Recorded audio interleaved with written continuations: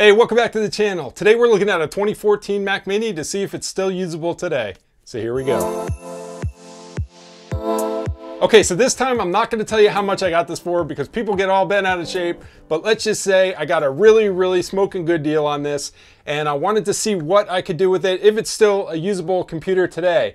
So I'm gonna break this up into a few different areas. I'll put an index down in the description and then at the very end, I'll tell you some things you can do with this and who I think this machine is good for. If you have any questions along the way, leave comments down below. I'll also have uh, links to anything I talk about, any websites I talk about in the description as well. So first, let's get into the specs of this machine. So like I mentioned, this is the 2014 Mac Mini. It's got an i5 4278U dual core processor, 16 gigs of 1600 DDR3 RAM. It's got the Iris Pro 5100 integrated graphics and a 256 SSD drive. Now, this is the version with the SSD drive soldered onto the board. As far as ports on this thing, it's got a gigabit ethernet, HDMI port, two Thunderbolt 2 ports, three USB 3 ports, SDXC card reader, audio input, 3.5 millimeter headphone jack, and an IR receiver. All right, so I did some really basic benchmarking and the only thing I'm gonna talk about in this video is the GPU and the CPU because benchmarking is really not that important unless you're comparing it directly to a machine. But for this benchmark, let's talk about Cinebench and Geekbench. So in Geekbench, we got a single core score of 3560, but the multi-core score is 6949, which is pretty low, and that's because of this dual core processor. On Cinebench, we got a CPU score of 273, which that's pretty low. Uh, that's not a great score, but again, we're talking about basically a mobile processor. But the OpenGL score was a little bit better than I thought it was gonna be. That came in at 23.43. Now again, that's not a great score, but you gotta remember we're talking about an integrated GPU, not a dedicated one. So I was actually expecting that to be much worse. So the day-to-day use is where this thing really excels. It performs really great. I mean, even by today's standards, things open quickly. You can have multiple tabs and virtual desktops open with that 16 gigs of RAM.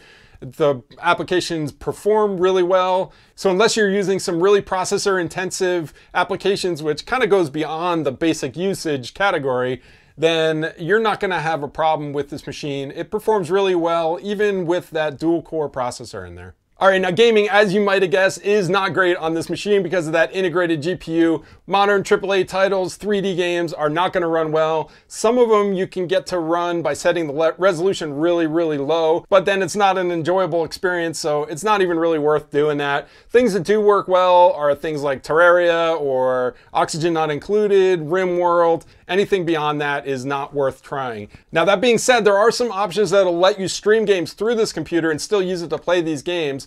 Some of those options are NVIDIA GeForce Now. That's currently in beta, and I have the beta for that. It works really well, lets you stream games to the machine over the network. That works fine. Steam in-home streaming works really well. If you have another machine on the network, it's a dedicated gaming machine, you can stream games to the Mac Mini. That works well, I've tried that. There's also options for streaming games from Xbox One and PlayStation 4. The Xbox One application is called OneCast. You can download a free trial of that. I'll put a link down in the description to that. On the PlayStation 4 side, the PlayStation Remote Play, they have an app for Mac OS. So those are just some options for playing games on this machine. And I'm curious if you've had experience with these or have any other recommendations. If you do, leave those down in the comment section below. Now the video editing side is a little bit of a mixed bag with this. First of all, Adobe Premiere and DaVinci Resolve do not run well on this. I did some testing on that. I didn't even bother doing video because it was a really poor experience. Now, the Final Cut Pro, on the other hand, I took 4K video right off my Lumix G7 here, load it onto a timeline. It plays back really smooth, it scrubs really smooth. I can do basic color correction, add transitions, and things like that. Now, if your timeline gets too long and too complex, like you're doing a lot of effects and layering in titles and things like that, that's when it really starts to bog down and it becomes a lot more troublesome. There's a way around that. You can transcode the media first and then you don't have to worry about it, it works just fine. If you're working in 1080p, you can get away with a lot more on your timeline with the 1080p because it's a lot less intensive to process. If you're gonna get one of these machines for video editing, either keep it at 1080p or transcode everything to ProRes before you edit it, and then you won't have a problem with ProRes. So let me talk a little bit about upgrade options and there are some upgrades that you can do to this machine even as small as it is. Now if you have the spinning drive you can actually open this up, take out that spinning drive and replace it with an SSD and you'll get much much faster read and write speeds. You can get either a Thunderbolt 2 enclosure or a USB 3 drive enclosure and just attach that. You can use that as your primary drive, your boot drive. That works just fine. That's a, a cheap and really easy way to get uh, faster read and write speeds on your machine, faster boot times, all that good stuff. The next upgrade you can do, and really the only other available one as far as I know, is an external GPU. Now these Mac Minis are not supported natively to use an external GPU, but there is a way to do that. I'm gonna be doing a video on that later, but I'll put a link down in the description on this video to the utility that'll take you out there. And if you want some instructions on how to do that, stay tuned for that video.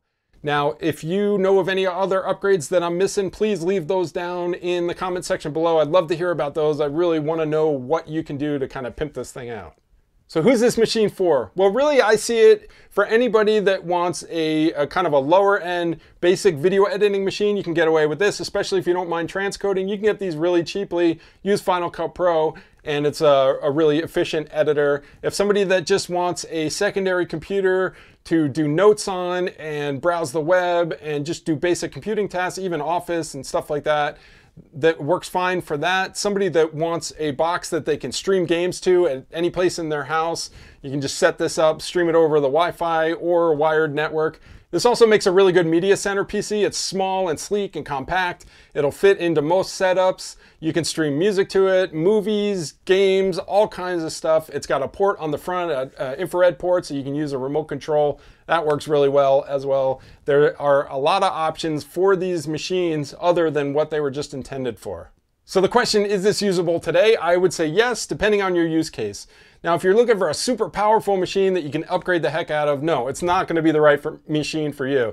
If you're looking for an affordable machine that you can get things done on, that may not be the fastest, but may be fast enough for you, it may be an option to look at. You can do some of those basic upgrades on it and get a little more life out of it, and you can get them super cheap now. So it may be something to consider depending on what you're using it for. So hopefully you found this video useful and informative. If you did, hit that thumbs up. If you haven't subscribed yet, please consider doing so. And come see me on Twitter, Instagram, and Facebook. Love meeting new people over there and chatting with them. And I'll see you in the next video.